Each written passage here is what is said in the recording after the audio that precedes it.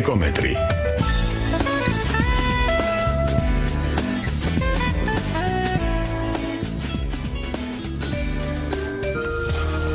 კლიმატი იცვლება. შეცვალე მიდგომები შენს რომ დაიცვა საკუთარი ჯანმრთელობა. არ გადაყაროთ შეაგროვეთ ჩააბარეთ. 100 კილოგრამი მაკულატურით გადაარჩენთ ერთ ხეს. 1 ტონა მაკულატურა უდრის 4 კუბურ მეტრ ხეს. მაკულატურის გადამუშავება შეიძლება 5ჯერ, 7ჯერ. სოფლიო მასშტაბით მაკულატურის 59% მუშავდება ლიდერია გერმანია, სხვათა შორის და საქართველოსიც იზრდება მასშტაბები. აქცია დაიწყო მწვანე ყუთები ყველგან ხოლმე ქაღალდისთვის. ამით თქვენ გადაარჩენთ ტყეებს და გადაირჩენთ რა თქმა უნდა საკუთარ თავს. მიიღებთ ჯანმრთელ გარემოს და არა მარტო მაკულატურა ეს ოქროა. საქართველოსში მაგულატურის ჩაბარება გავდამუშავების მასშტაბები იზრდება. პროგრამა ეკომეტრი და ჟურნალისტი ბარბარე ბენაშვილი მოგესალმებით გამარჯობათ მეგობრებო. ვიდრე დაანონსებულ თემას დავიწყებდეთ ძალიან მნიშვნელოვან თემას. კიდევ ერთი მნიშვნელოვანი ინფორმაცია თქვენ იცით რომ დღეს შესრულდა 31 წელი ჩერნობილის ავარიიდან მე მინდა თანაგრძნობა გამოუცხადო ყველას განსაკუთრებით უკრაინას ბელორუსიას შამიტანია და გიანტე ტერიტორიებს რუსეთისას იმ 14 ქვეყანას მათ შორის ჩვენც რომელიც ნაკლებად დავზეანდით თანაგრძნობა იმ მაშველთა ჯგუფებს, რომლებიც შეეწირენ აი ამ საშინელ ავარიას, მათ შორის საქართველოსთან ძალიან ბევრი იყო, ბევრი სამწუხაროდ ცუდად დამთავრდა მათი ეს დაავადდა და აღარ არის ძალიან ცოტანი დარჩნენ. მე იმედი მინდა ვიქონიო, რომ ჩვენ ამ ატომურ ენერგიას გონივრულად გამოიყენებს ადამიანი, მოგეხსენებთ ევროპამ უკვე უარი თქვა და რაღაც გარკვეული პრობლემები არის, რაც შეეხება გარდა იმისა, რომელსაც დადებითი მომენტი აქვს, ის არის ნარჩენი ძალიან ცუდი ნარჩენი, რომლის ტრანზიტის უფლება და შენახვის საქართველოსი კანონმდებლობით იკრძალება. ესე იგი, ნებისმიერ შემთხვევაში პრობლემა რომ იყო სომხეთის აესთან დაკავშირებით, ნარჩენზე ტრანზიტზე რო იყო, თქვენ გახსოვთ, საქართველოს სასწრაფოდ მიიღო ეს კანონმდებლობა, არც შენახვა შეგვიძლია და ვერც ვერავინ ვერ გადაატარებს საქართველოსზე ამ ნარჩენს. ახლა კი საერთოდ ნარჩენი ეს ჩვენ არაერთხელ ქონია ამაზე გადაცემა. სულ ახლა-ახას ვისაუბრებ თანამედროვე ტექნოლოგიურ ნარჩენზე. მე მინდა გითხრათ რომ ეს აქცია უკვე დაიწყო. მალე დაიდგება დაიდგმება ასეთი ყუთები სადაც შეგიძლიათ თქვენ მიიტანოთ ტელეფონები ნებისმიერი ძველი აი ეს გამოსული კომპიუტერები აი ეს ყველა ტექნოლოგია შეგიძლიათ.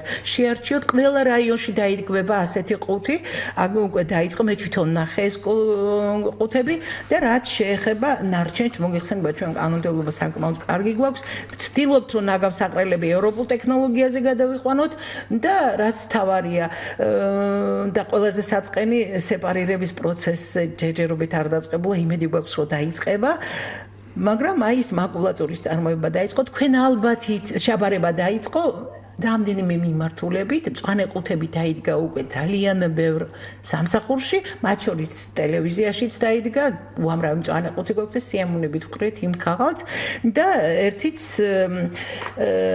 აი მოთხოვნა მე რომ გადავხედე არამედ სოციალურ ქსელებს, არამედ საერთოდ ინტერნეტს, ყველა ქალაქში უნდა იყოს მაკულატურის ჩამბარებელი პუნქტები.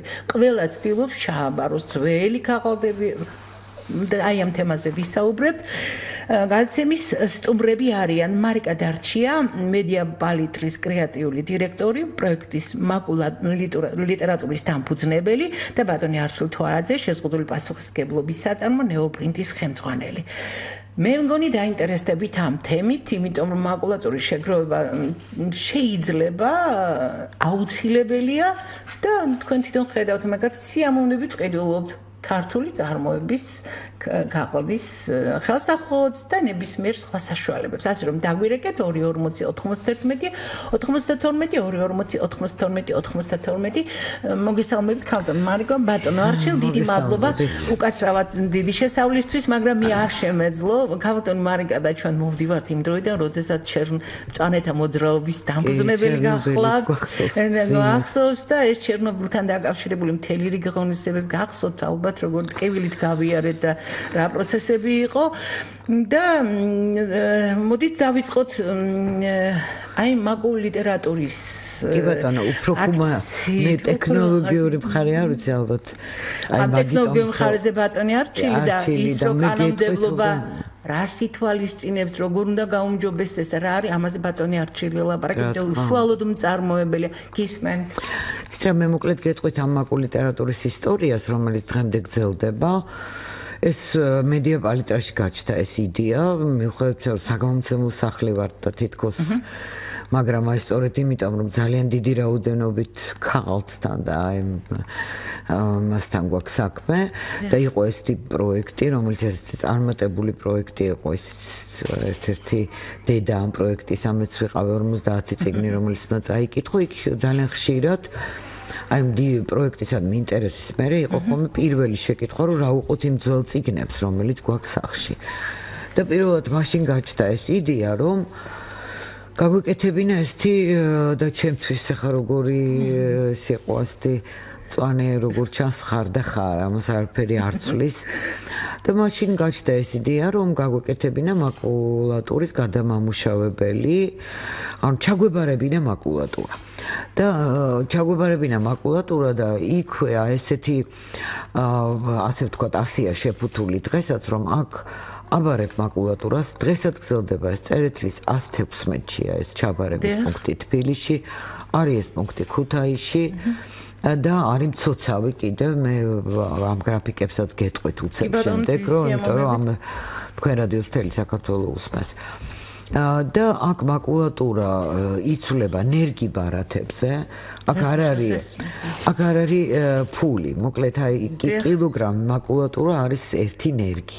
შემდეგ აგროვებ ამ ნერგებს და ნერგის საფასურად იქვე შეგიძლია შეიძინო ციგნები. ანუ რაღაც ციგნი ღირს 5 ნერგი რაღაც ციგნი 10 რაღაც ციგნი ფასე ხო ჩვენ მაშინვე იყო ჩემი კატეგორიის რომ აქ ფული არ სწორედ ეგ იყო რომ მაგიტომ ქვია მაკულ ლიტერატურა. პირდაპირ მაკულატურა შუაში ნერგი ბარათი გაქვს და ამ ნერგი ბარათით სული ლიტერატურაზე. როგორც დაიწყო ეს 4 წლის წინ ასეა ეხლაც ასე მიმდინარეობს. მოკლედ ნერგი ბარათია ძირითადად წყობილების დროს აიყო ასეთი რომ 10 კილოგრამ. მაგულატურაზე ბუნების მეგობარი იყო და რაღაცა იმებს მარკებს გიკრავდნენ როგორ არის და ციგნებს გვაძლევდნენ იშვიათ გამოცემებს ხოთა შორის ხო აქ არის თქვენ არჩევაზე მაგულიტერატურა ჯეზე რომ შეხვიდეთ ეხლაც იქ არის ძალიან დაწვრილებით ყველაფერი ამის შესახებ, იმის შესახებ თუ რა წიგნებია იქ, რა შეგიძლიათ აირჩიოთ და ადგილებზე შეგიძლიათ აირჩიოთ ესენი.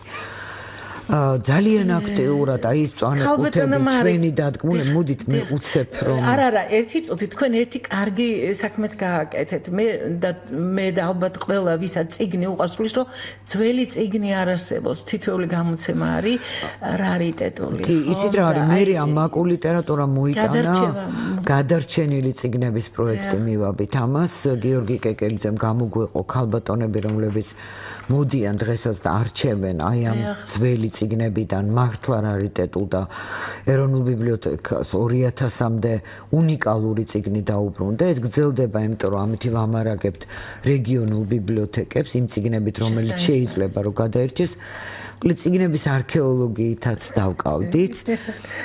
და აი ასეთი პროექტით გაგრძელდა მოკლედ მას რამდენიმე ასე ვთქვათ თავისი ნაკადულები აქვს რომელიც ავსებს ამ დინარეს და შემდეგ იცით გადავწყვეტეთ რომ არის რაღაცა გარკვეული აქციები რომლის დროსაც ეს ნერგების ფასი იზრდება და ამ დროს ძალიან აქტიურია ხოლმე მომხმარებელი.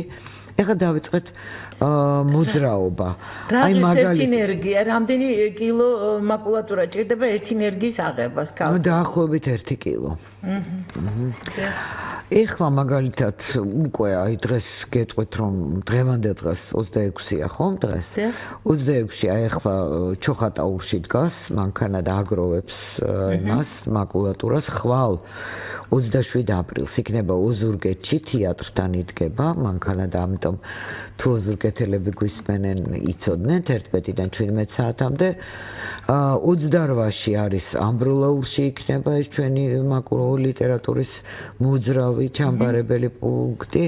კულტურის სახლთან იქნება და 29-ში ონში ონის ცენტრში იქნება აღმაშენებლის პირველ ნომერში და აი ესე დავიწყეთ და შემდეგ ყველაფერი რა თქმა უნდა გადამუშავებამდე მივიდა. ჯერ ძალიან მცირე ესეთი წარმადობის საამქრო შეიქმნა. მას tissue papers ქვია.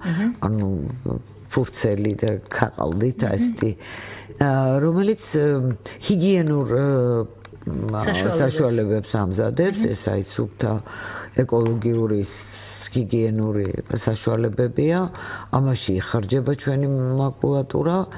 Ну რა თქმა უნდა რაღაც დამატებები სჭირდება მაგრამ აი ეს არის ძირითადი წყარო. ამ უკვე ძალიან საინტერესო ქარხნისა რომელმაც შეიმატა ეს თანამედროვე ტექნოლოგიები უკვე ძალიან ეს ქარხანა ეს ქარხანა იცით აეროპორტისკენ არის ტერიტორიულად. და უკვე გაკეთდა რა არაერთი სიუჟეტი სხვათა შორის იმიტომ რომ გვინდა ხოლმე რომ რაღაცა გარკვეული ყურადღება იყოს იქ ახლა სწორედ რაღაც კიდევ გეგმავთ რაღაცებს და ეს ჩვენი მაკულატურა მოკლედ აი ამ tissue paper-ისკენ მიემართება. ეს ძალიან სასიამოვნო. ახლა ბატონო არჩილ მე მინდოდა თქვენთვის მეკითხა. აი წარმოება რამდენიმე საწარმოო მუშაობს ხო თქვენ დაახლოებით იცით დღეს რამდენი საწარმოო მუშაობს აი ამ ქაღალდს და რა სახის პროდუქციას უშვებს რა პუნქტები სადაა აქვს და როგორ აგროვებს ამას ყველაფერს დღეს დროებით დაახლოებით 5 საშუალო ცოტა მეტი სიმძლავრის საწარმო მუშაობს. ეს არის როგორც აა მუყაოს გადამამუშავებელი. არის ასეთი კვერცხის ჩასადები უჯრედების ესაც აგზადდება დიახ დიახ დიახ დიახ კვერცხის ფაბრიკა ქათმის ფაბრიკებს ამარაგებს ესა. ასევე არის ჰიგიენური დანიშნულების ქაღალდის გადამამუშავებელი დაახლოებით 5 კარგი მოზრდილი საწარმო არის სადაც მაგალითად ჩვენ საწარმოში რომელიც წეროვაში გახლავთ დევნილთა დასახლებაში აჰა სადაც საერთოდ 85 კაცი არის დასაქმებული. დევნილები სულ ყველა დევნილები არის სრული 100%-ით. დიახ, აქ მიმდინარეობს მისი შეგროვების შემდეგ გადამოშვებული ციკლი, ანუ კეთდება გადახარისხება, გადახარისხების შემდეგ ხდება მისი რეგენერაცია, ანუ ასე ვთქვათ, მარტივი თუ ახსნა ეს მუყავს ნაწარმი, ნახმარი, ესე წოდებული, როგორც ფაფა ესეთი მოცემულობაში არის მასა, დიახ. მის შემდეგ ხდება მისი წყლისგან გამოდევნა, ანუ დიდ მიქსერში კეთდება მის არევა. შემდეგ კეთდება მისი შრობა დოლურებზე, საკმაოდ 60-65 მეტრო არის დაახლოებით. ერთი ხაზის სიგრძე ამ პროცედურას გადის და გამოდის შემდეგ ამის შედეგად მუყავს ქაღალდი. მის შემდეგ ასევე ჩვენ საწარმოში გვაქვს გოფრირებული ქაღალდის, გოფრირებული მუყავს საწარმო, სადაც ხდება სხვადასხვა ბრენდის სხვადასხვა მოხმარების ეს ყველა სფეროს ეხება ალკოჰოლური, ალკოჰოლოს ასმელების ნაყინის რაც ყველა დანიშნულებს რაც რაც ხუჩუნდა ჩაიდოს სხვადასხვა ზომის და სხვადასხვა ბრენდირებით. ანუ თლიანი ციკლი დაწყებული შეგროვებიდან დამთავრებული მზა პროდუქციამდე პრაქტიკულად ჩვენი საწარმო ამას ამუშავებს ეს უახლეს ტექნოლოგია, ფაქტობრივად ეს არის მწვანე ტექნოლოგია, ეს არის აი ის მიმართულება, რომელიც პარიზის სამიტის მერე აიღო საქართველოს მწვანე ეკონომიკისკენ, ხო?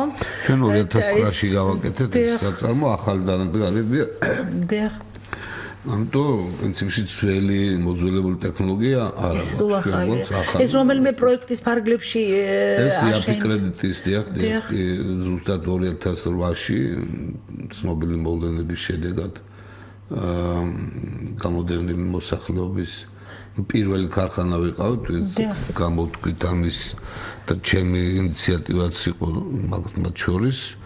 პრინციპში ეს ქარხანა რაღაცით მაინც თქვა 85 კაცი დასაქმებაც, ну არ არის ახლა თლათ ცირე ოდენობა, ესე რომ კიდე ერთი ორი ფაბრიკა იქ მიემატა საერთოდ ნატახტრის ტერიტორიაზე რაღაც კარგად ხდება იქ რაღაც ეკონომიკური ზონის შექმნა კი. ნუ ნაკახტარი არის ხალხანა პარამბო არის რა ვიცი კიდევ შენდება რამდენიმე საწარმო ახლა და იქ ხალხი რომელიც ესე ცუდ გომარობაში, ყველაზე ცუდ გომარობაში არიან, მათი ოჯახში ერთი ლუკმაპური შეტანა, მე მგონი ცუდი საქმეა. რა თქმა უნდა, სამუშაო ადგილების შექმნა, მაგრამ საოცარი ისაა, რომ ეს ნატახტარი იქ რაღაც წყალსადენი ზონაც არის, მე მგონი და ეს გამოსულია იმ სანიტარული ზონის გარეთ არის ეს საწარმოები მე როგორც ვიცი. რა თქმა უნდა, რა თქმა უნდა, ეს გამოსული არის, თუმცა იმისი ჩვენ ნარჩენი საერთოდ არ გავაჩნია. აი, მსმენელი შემოვიყვანოთ და მე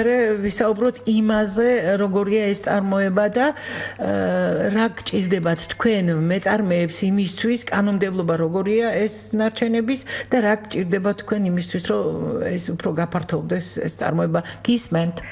გამარჯობა გამარჯობა. ბარბარე მოგესალმებით. თქვენს და თქვენ სტუმრებს გილოცავთ აღდგომის წინვალე დღესასწაულს პირველ რიგში და ძალიან საინტერესო საკითხია მე ამით ვარ დაინტერესებული იმიტომ რომ მაქვს ძალიან ბევრი ჟურნალ გაზეტისა ჟურნალები ზოგიერთი ძველი ძველი ციგნები ციხეთი რომელიც მე თვითონ აღარ მჭირდება და მინდა ჩაბარება მაგრამ მე თვითონ ვერ მივდივარ. კი ვიცი წერეთლის 115-ში არის ეს მაგრამ ადრე წინა დადიოდა მანქანები დადიოდა მაკულატურის შესაგროვებლად მოდიოდნენ მოსახლეობაში და მიქონდათ ხოლმე. და ეხლა თუ არის რამე ისეთი საშუალება რომ ადვილად ჩავაბაროთ ან ტერიტორიულად თუ არის განლაგებული კოლმეურნეობის მოედანზე ცხოვრობენ თუ არის სადმე ისეთი რომ ან ტელეფონზე ხომ არ უნდა დავრეკოთ ნომერს თუ გვეტყვით ისეთ რომ თავისუფლად მივიტანოთ. მე თვითონ არ შემიძლია მიტანა მაგრამ რა ვიცი იქნებ ან მოვიდნენ თვითონ ან წაიღონ ან რამე თუ არის ძალიან კარგი თითი მადლობა ქალბატონო გავგისმენთ ციტრაშია საქმე წუხვარ ხოლმე ასეთი იმიტომ რომ მეც მადარდებს ეს ბევრია ჩვენთან თავდაპირველად მე პასუხობდი ხოლმე სანამ ეს გაიყო და ეხლა უკვე თავისი აა ასე ვთქვათ ხელმძღვანელობა ყავს და მეც მუშაობს ამ პროექტზე კონკრეტულად ძირითადად. იცი რა ქონდა ამის ცდელობა რომ ქალაქში ევლო ასეთა არ გაამართლა იცით? ძალიან გაუჭირდა მას ეს და ქალბატონო იქნებ როგორმე ვინმე სთხოვოთ? ან თუ ეს არის ხანდახან გამონაკლის ვაკეთებთ ხოლმე ბარბარე თუ არის ეს დაუშვათ 10 კილოზე მეტი მაშინ შეიძლება მივიდეთ. ხო აი 10 კილოზე მეტი თუ არის ასეთი გამონაკლისი გქონია და მე ხო პირდაპირ ესეთ ვერავის ტელეფონი არ მახსენდება მაგრამ თუ შეუძლიათ მათ რომ აი თქვენთან დამიტოვეთ ტელეფონის ნომერი და აი იქნებ როგორმე მოუგვაროთ საქმე. ბატონო არჩი თქვენ ხო არ შეესთავაზებდით რამეს მე მე წილად უფრო მიმართულება ჩვენი უფრო მუყაოსკენ არის ამიტომ ასეთ ლოჯისტიკური ხარჯები ძალიან დიდია ხო ძალიან ძნელია. ძნელი ძვირიჭი ძალიან ხო ძალიან გული მწყდება მართალითაც აი ეს რაც თქვი რომ რეგიონებში და ყავს ესეთი მანქანები ქალაქშიც გვინდოდა. არ გაამართლა ძალიან ძნელია დგომა ამ გადაწყვეტილ ქალაქში. მე აი ასეთი სირთულის მერე ძალიან ცოტას მოქონდა. წარმოდობა ძალიან ცოტა. კიდევ გველოდება მსმენელი გისმენთ. გისმენთ. ეთერში ხართ. გაითიშა უკაცრავად კიდევ არის მსმენელი ერთი გველოდება კიდევ გისმენთ. გისმენთ. გისმენთ. ალო ეთერში ვარ თეх მოგესალმებით. ახლა ქალბატონი რეკავდა და ხობიც მე წინ მდგომარეობაში ვარ და რო ამბობთ თქვენ რომ იყო მანქანები და არ გაამართლაო მე ვფიქრობ ერთსალაც იყო ეს ამდაგვარე გადაცემა. მე მგონი უნდა გამოცხადდეს და აიწესდეს რაღაცა დღე. აი ერთ მისამარს დაგისახელებთ. ეს არის ვახუშტის ხიდან სადაც არის 4 გადაბმული 13 სართულიანი корпуსი. ვერ დავიჯერებ, რომ დღე გამოცხადდეს და აქედან макулатура არ ჩაბარდეს და მე ვფიქრობ ორგანიზაცია აქცია უნდა ჩატარდეს როგორც ჩანს. ის იმიტომ რომ მე სიმდგომარეობაში ვარ და ძალიან ბევრი ჯერ მარტო მე კვირიცპალიტას ვიწერ და არსების დღისთან და ჯერ კვირიცპალიტა მაგ რამდენი დაგროვებული, ერთი ორი წლის მაინც. და ასე და მე მგონი რაღაცა ორგანიზაცია უნდა გაუმჯობესდეს. კი, რა თქმა უნდა, გეთანხმ გეთანხმებით ქალბატონო. ხერო ეს ცელოზა და ეს აუცილებელია და ჟანგბადის წყაროა. ეს ყველამ კარგად ვიცით. ყველამ კარგად ვიცით. აი არის ნამდვილად გეთანხმებით მე ძალიან გული შემტკივა ამაზე უბრალოდ არც ინფორმაციას არ ვაკლებთ იმიტომ რომ ჩვენც დიდი საინფორმაციო სივრცე გვაქვს კვირის პალიტრა ჟურნალი გზა რა ვიცი პალიტრა ნიუსი რადიო პალიტრა. ყველგან ვაცხადებთ ხოლმე მაგრამ როგორ ჩანს საერთოდ აი ეს რადგან ინფორმაციის კონცენტრაცია ეხლა არ არის და ალბათ თქვენ უსმენთ დაუშვათ ამ რადიოს რომელიც ჩემთვის გამორჩეული და მართლა ძალიან საყვარელი რადიოა მაგრამ ყველგან ეხლა მით უმეტეს ინფორმაციის ასე გავრცელება ცოტა ბრძნელია მართალი გითხრათ. უკაცრავად ბოდიშს ვიხდი სათქმელს ბოლომდე იქ ვერც ვამბობთ რადიომსმენელს. ბევრი მსმენელი გველოდება, იცი ძალიან დიდი ბოდიში. შემოვიყვანოთ მობილური ტრეკავს და ბატონო არჩილ მე დავიწყოთ თემაზე ლაპარაკი, იმიტომ რომ მე მაინტერესებს სტრატეგია მწვანე. ორი მსმენელია გისმენთ? გისმენთ? ალო? დიახ. გამარჯობათ გენაცვალე. აი ქუთაისში რომელ ქუჩაზეა? ქუთაისში. ქალბატონო, მოდით მაკუ ლიტერატურა ჯე, აი ესეთი ვებგვერდია. აი შედით თუ თქვენ არა სწხოვეთ ვინმეს და ყველაფერი დაწვრილებით არის იქ ზუსტად არის. კი, არის როგორ არა. გისმენთ კიდევ ერთი არის შემოვიყანოთ გისმენთ. ალო, გამარჯობა. დიახ. ისიც რა, მე საკმაოდ ხანში შესული ვარ და მახსოვს სკოლებში ჩვენ ვაბარებდით მაკულატურას მოსაფეები.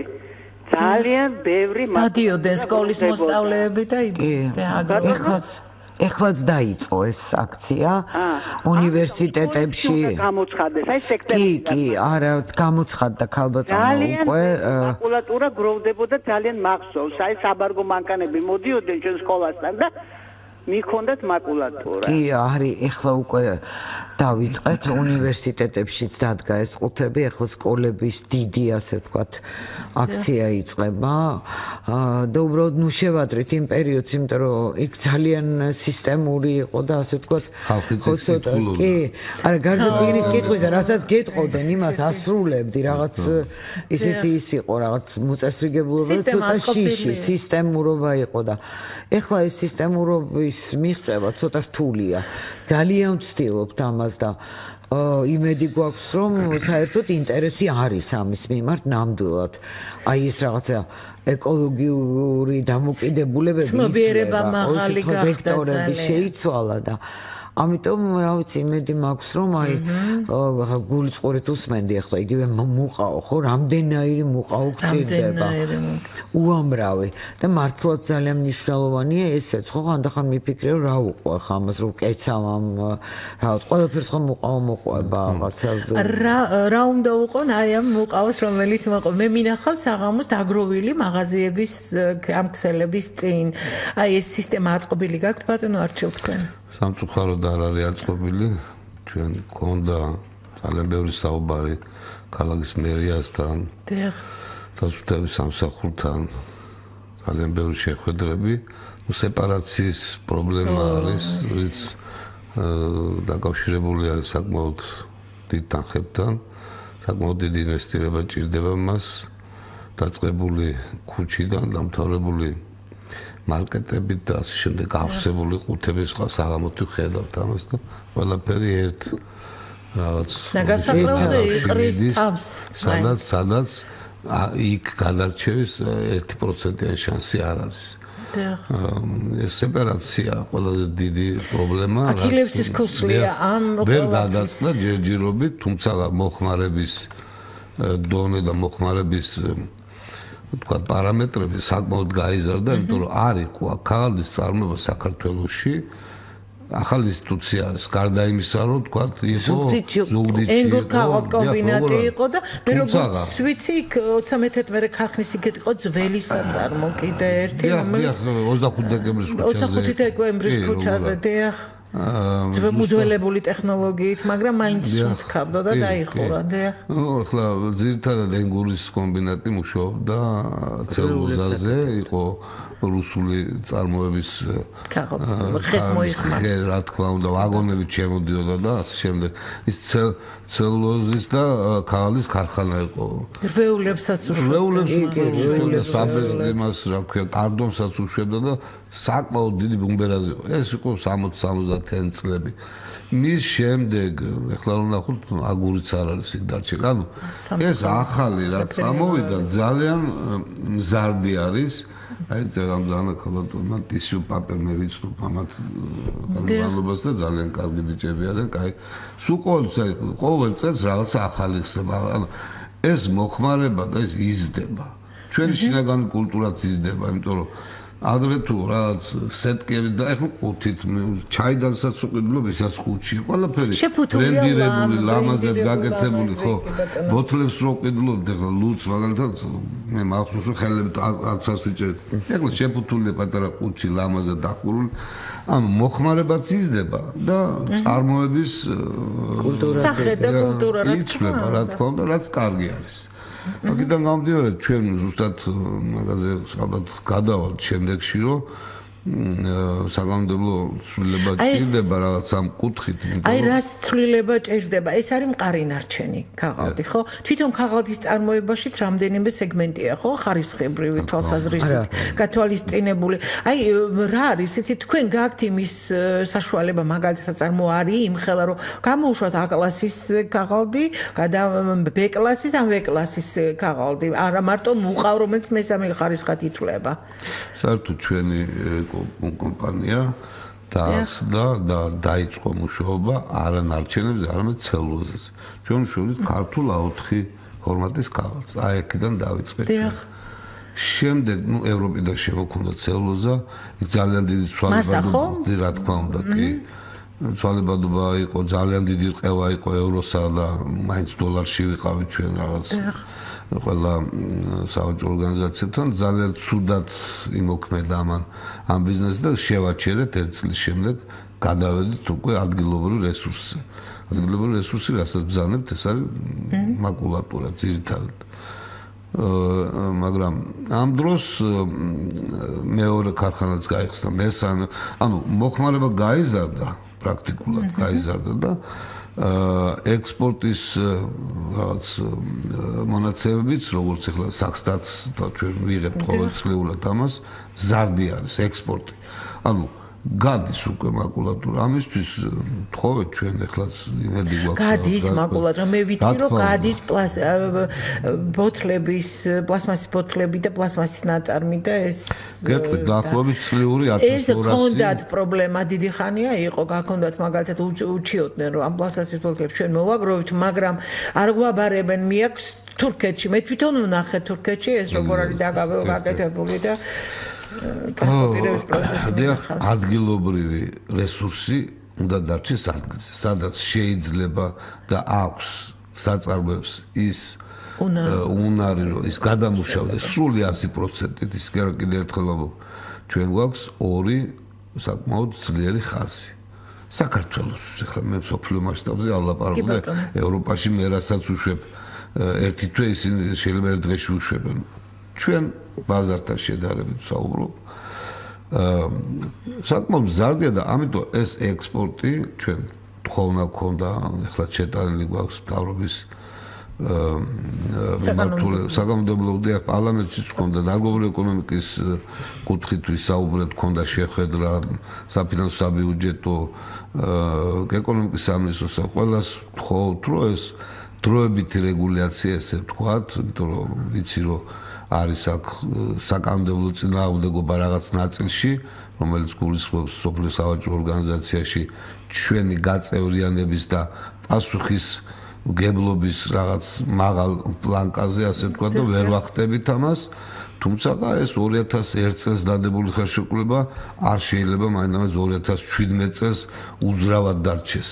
ქვეყანა მოძრაობს. ვეტეოსთან ურთიერთობას აქ იცით რაღაცები სოფლიო სავაჭრო ორგანიზაციის კანონმდებლობას, როცა ქალთმარგა თქვენ გახსოვთ, აბა ჩვენ ძანთა მოძრაობა ძალიან წინააღმდეგი იყო სხვათა შორის რაღაც რაღაცების გამო, თუნდაც იგივე ტრანსნაციონალური ორგანიზაციების შედეგზე შემოსვლის შედეგად, მაგრამ რა არის ის იქ კანონმდებლობა უკვე არის გარკვეული შეღავათები, რომელიც გააძლევს რაღაც შეიცვალა უკვე როგორც ვიცი. დროებით რეგულირებები შესაძლებელია, რასაც ჩვენ ძალიან ვთხოვთ და ყოველთვის გვაქვს ეს თემა, ყველა შეხვედრაზე თუ არა ვართ ახლა ჩაგეტილებ, თავრობაც მოდის დიალოგზე, ბევრი შეხვედრები გვეძახიან, რა ვსჯელობ, თუმცა ჯერ საბოლოო გადაწყვეტილებას თქვა მიღებული არ არის.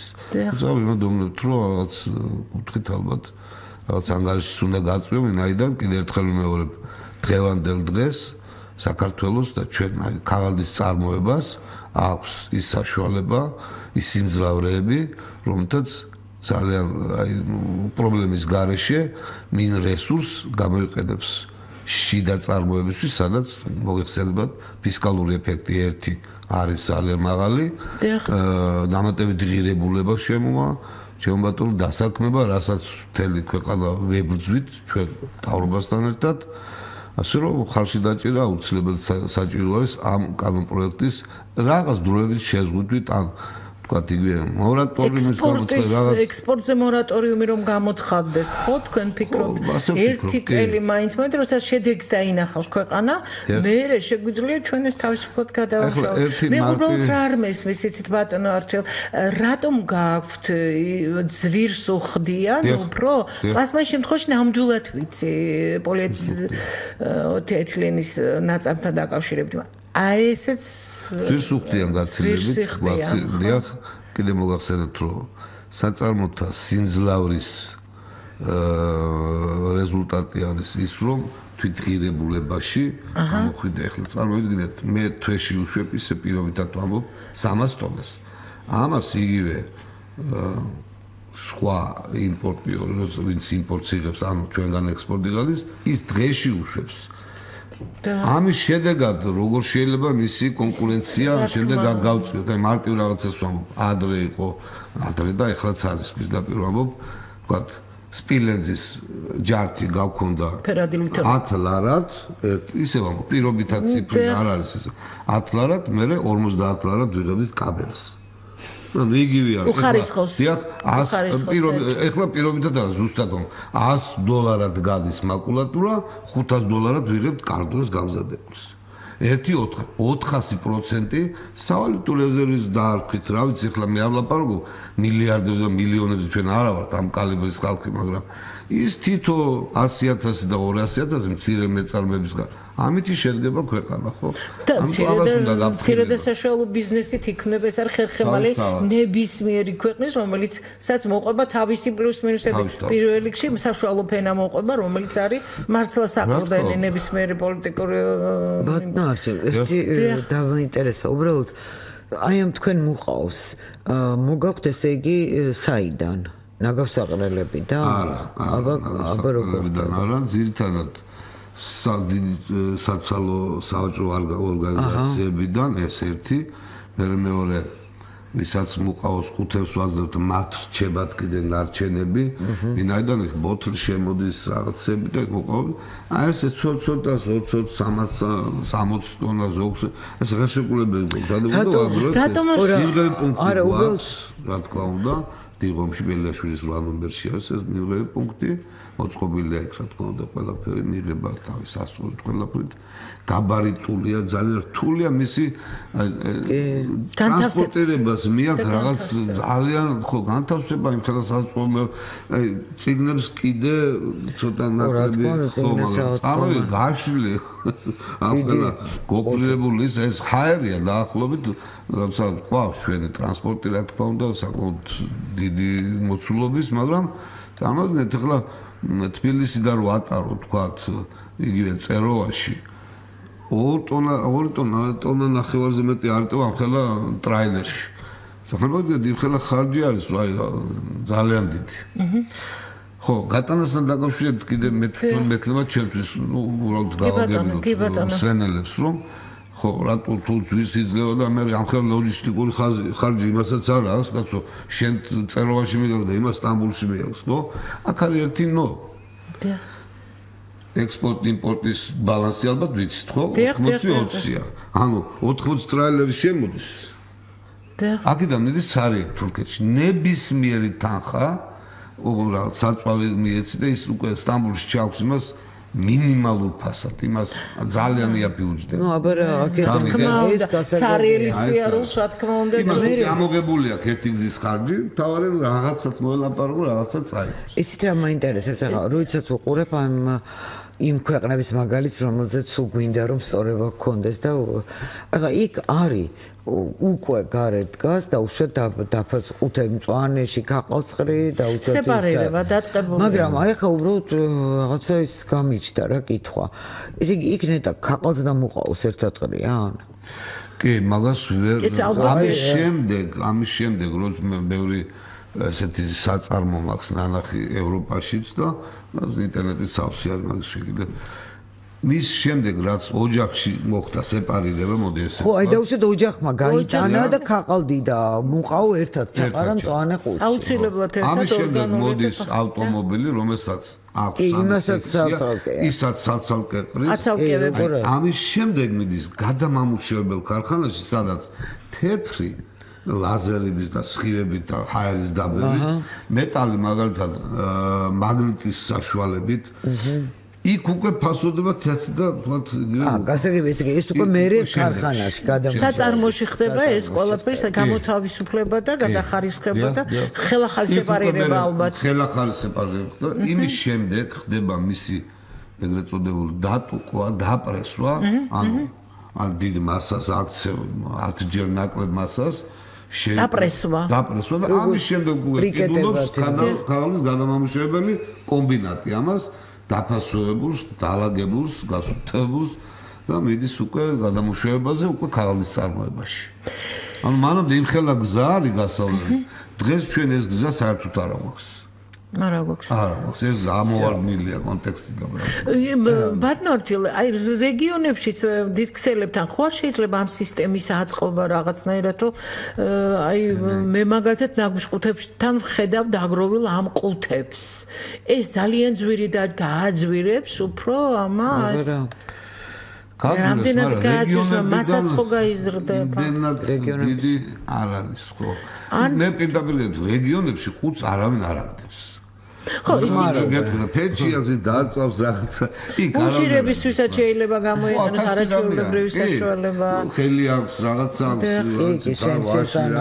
ის არ ანდებს ის კაცი ქალაქში ხო მე მაგალითად საჭი რატკინდა ხო ამდენი ყუთი და ამიტომ აქ გროვდება და მარკეტების ბრუნვა და მისი მასშტაბები გაცილებით თორე ქუთაისში ახლა არის ბათუმშიც არის ესე ეს ხალხი არის დაკავებული, ვინც ამას მანქანებით მიდიან, პრესები აქვს, დაგროვებენ, თავეთი პუნქტები აქვს, მაგრამ ჩვენთან მოაქვს, ზოგი სხვა ქარხანაში მიაქვს და ასე. კი, არა, საჭიროება როგორც კი გაჩნდება. ადა ისეთ რა მინდა მინდა გითხრათ ისე ჩვენი მწვანეობის პირველი ნაბიჯები მინდა რომ მე ჩემთვის აი ეს გადამუშავების პროგრამები იყო ერთ-ერთი ყველაზე საყვარელი. სურაჟვანია ხუმრობდა კიდეც რომ სულ ნაგავზე ლაპარაკობს ეს სკალიო და ისეთ მე მახსოვს და მე უკვე რო გვიწევ და დაუშვათ რაღაც ურთიერთობები არასამთავრობო ორგანიზაციებთან უცხოეთში ყოველთვის დავდიოდი გადასამუშავებელ ქარხნებში აი ჰოლანდიაში ნაყოფი ვარ ბელგიაში და და მე იყო ამის ცდელობა ჯერ კიდე როდინდელ დროს ყვებია. 90-იანი წლების ესე იგი დასაწყისია და ყავდა ვიღაცები ჩამოყვანილი. ცით რომ დაითვალეს ეკონომისტები იყვნენ ამ რისაიკლინგის პროექტების. და გითხრეს რომ ძალიან გაგიჭirdებათო, იმიტომ რომ აი რასაც ამბობს არჩილი, ბაზარი ძალიან პატარაო რა.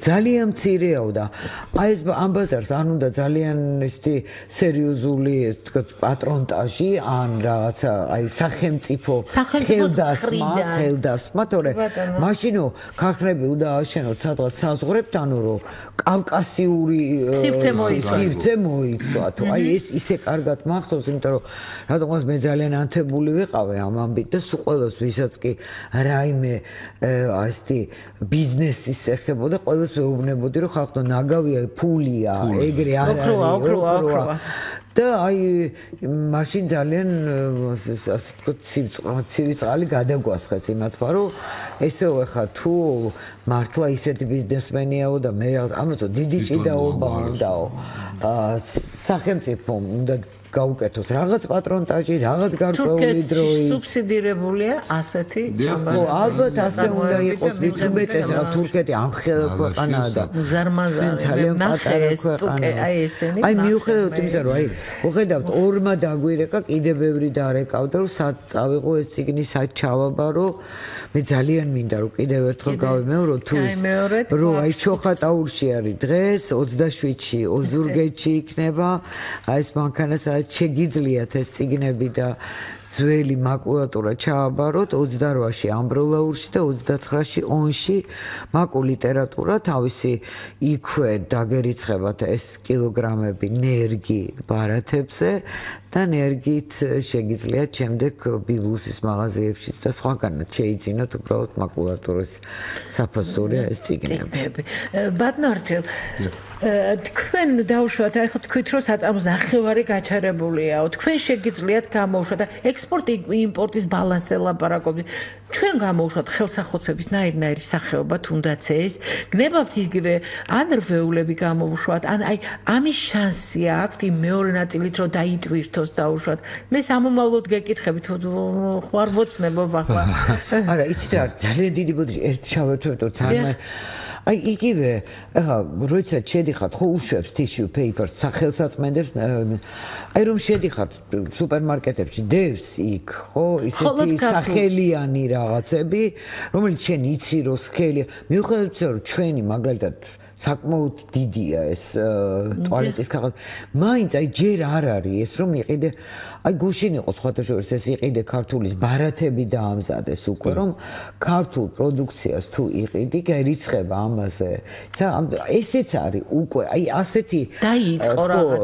კი ტარიელ ზიზუას ბაგატარიელ წინვალე მაგათთან ვიყა ერთად ვაკეთებდი და აი გუშინ გუშინ უკვე არის მიუერთეს ეს უნიკარდის ბარათებს ან უნიკარდის ბარათი არის რომ იყიდე არჩევანი გააკეთეთ ხოლმე ქართულზე გადაცემას ქონდა ეკომეტრი ამ ეკომეტრს ეკო ვიქტორინა გარდა ამის ეკო სამურინე ქონდა ხოლმე ქართული წარმოების პროდუქციას ვარიგები. ხო, აიცი არა, ეს რო ამოვა ძალიან კარგია რომ მოძრაობად იქცა. კი, კი, რა თქმა უნდა. ამიტომ ეხა იგივე მუყაო, ნუ ეხა ძალიან დიდი რამეა, ყველაფერში გჭირდება რა, აბსოლუტურად ყველაფერში. ბატონჩილ მე მინდოდა ჯემ გაგვიგზელებინა ჩვენ ამ თემაზე საუბარი, მანამ ძალიან ცოტა დრო დაგვრჩა და აი შეგიძლია თუ არა რომ გამოშვე, იგი მაგალითად მე არა ვარ წინა აღმდეგი რომ დავთერი ეწეროს, მაგრამ იქნებ რვეული ეწეროს იმას და შემოვიდეს არაუცხოეთიდან შემოვიდეს იგივე სახელმწიფოების ხარისხიანი ციგნი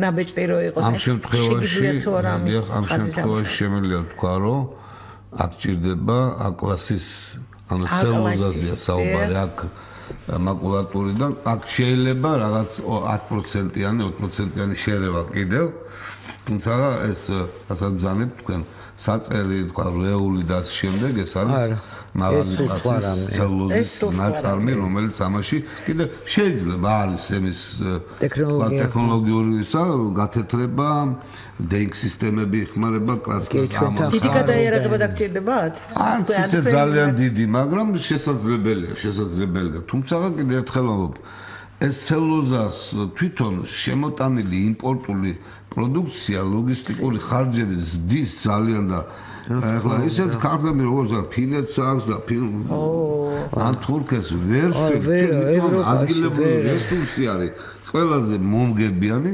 ადგილობრივი რესურსის გამოყენებით არის ჩადგომა ცოტა წინა რიგებში. ხო, აი უბრალოდ რა რისი შესაძლებლობა გქონდა ამაში უნდა სახელმწიფოს დაგვეხმაროს და ორი აზრი არ არის, იმიტომ რომ სახელმწიფოსაც სხვა რა გამოსავალი აქვს. საშინელ დღეში ნაგავს ცუდ ასე ვთქვათ გამონაბულს და ასე შემდეგ მიაქ ყველაფერი და მარტივად ესეთი რაღაცა.